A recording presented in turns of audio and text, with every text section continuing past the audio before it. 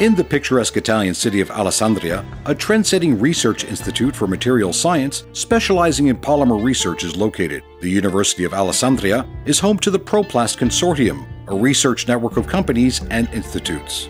Dr. Piero Cavagliasso is the head of ProPlast and explains its mission in an interview with Massimo Rizzi of Leistritz, Italia.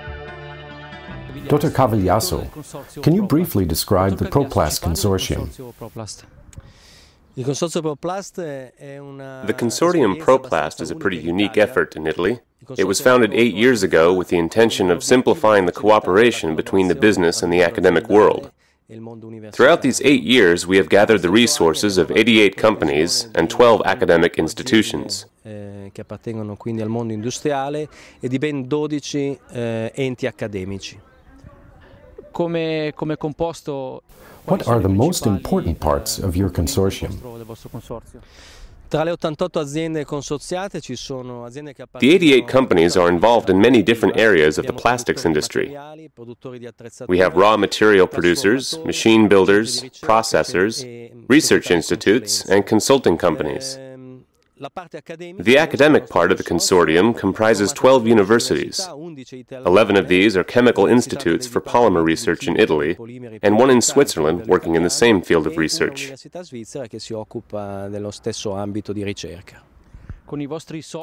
You've started quite a few research and educational projects with your partners. Eh, yes, actually, our main activity is education on all levels, including training courses for technological specialization, graduate and postgraduate programs, as well as training courses in companies. Our second focus of activities is technology transfer, for instance, helping companies apply new technologies. The third field of activities is research. We are involved in application-driven research as well as basic research. Especially in this regard, we have developed very interesting partnerships, particularly with Leistritz.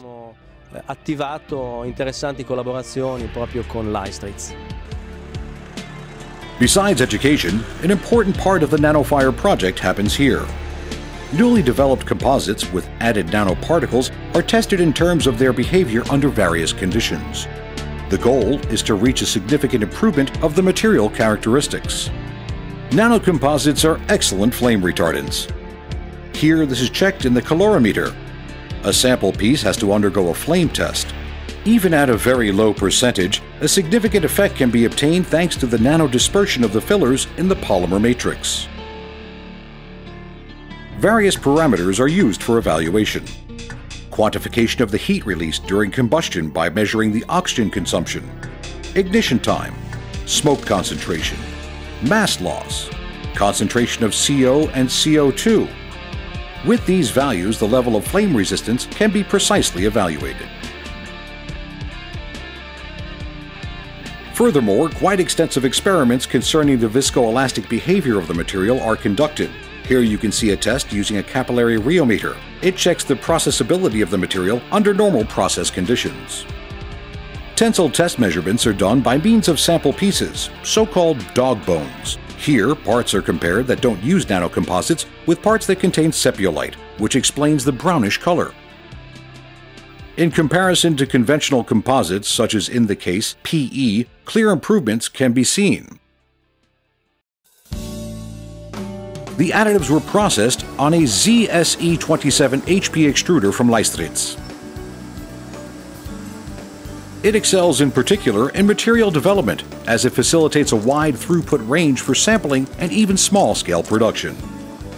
One gains valuable results very quickly, which helps to evaluate the tested formulation in terms of process stability.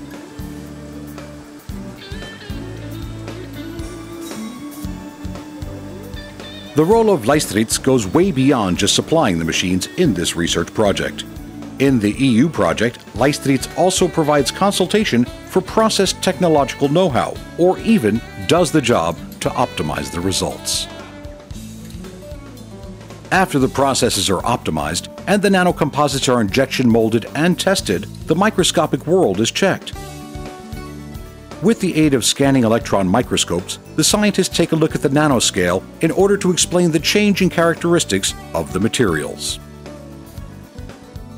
Nanofiller material are needle-shaped nanoparticles with a relatively simple basic composition. Sepiolite, for example, consists of silicon and magnesium. The silicon molecule is a tetrahedron whose atoms give it the form of a pyramid. Magnesium, in its natural appearance, forms as an octahedron. In accordance with these structures, the elements are organized into so-called layers. The mineral sepiolite has come into existence over the course of millions of years. It consists of deposits of fossilized shells and fish cartilage. The geological formation process, however, has still not been definitely clarified. In colloquial German, sepiolite is also called sea foam. Under specific conditions, the molecular layers have attached themselves to one another by sharing a few of their oxygen atoms. The result is a layer with three individual strata. These individual layers in turn share the oxygen molecules with their external corners.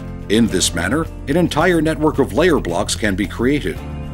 The networks line up behind one another in unspecific lengths and thus form needle-like structures in the realm of a nanometer. There are also industrial manufacturing processes for just such nanoneedles. An organic mass, which is not flammable and cannot be melted, is exposed to temperatures between 1300 and 1500 degrees centigrade through a treatment by pyrolysis. In this process, the mass loses all of its elements except for the carbon component. The result are carbon layers that have almost every conceivable form, such as fibers, for example. Through complex interactions, the carbon does not form itself into a layer, but rather as small tubes with a diameter of only a few nanometers, the so-called carbon nanotubes. Depending on the process used, the number of walls can be determined. Under normal circumstances, all these nanoneedles form clusters.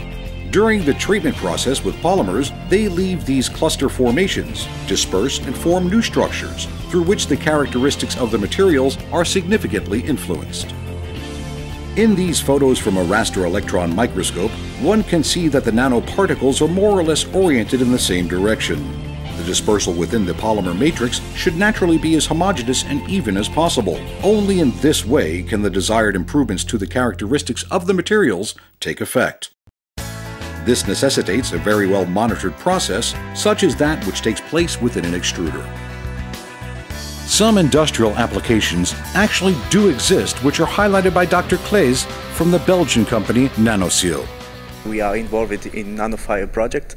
It's more dedicated to find new product, dedicated to uh, more wider application, uh, like we are developing uh, such uh, master batches, some specialty product with predispersed uh, state of carbon nanotubes. We're also developing dispersion slurry step, uh, and all, all of these are targeting uh, higher performance of the carbon nanotubes when it, it uh, the carbon nanotube is in a polymer matrix.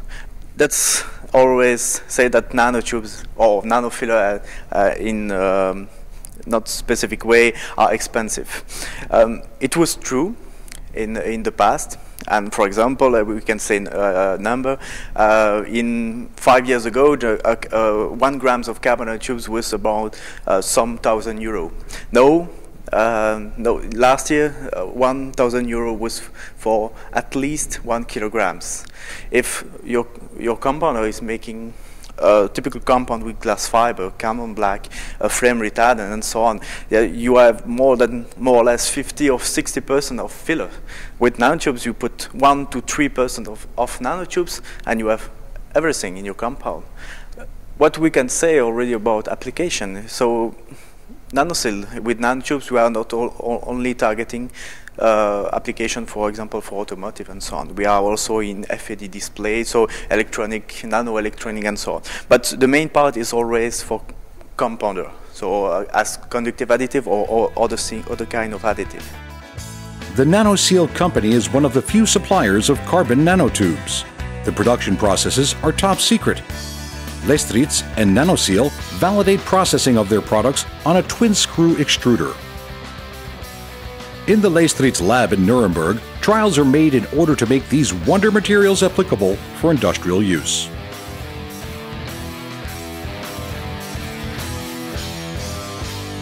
Because of the increased volume of the ZSE 50 MAXX, this process can be run extremely efficiently and provides top values in terms of profitability.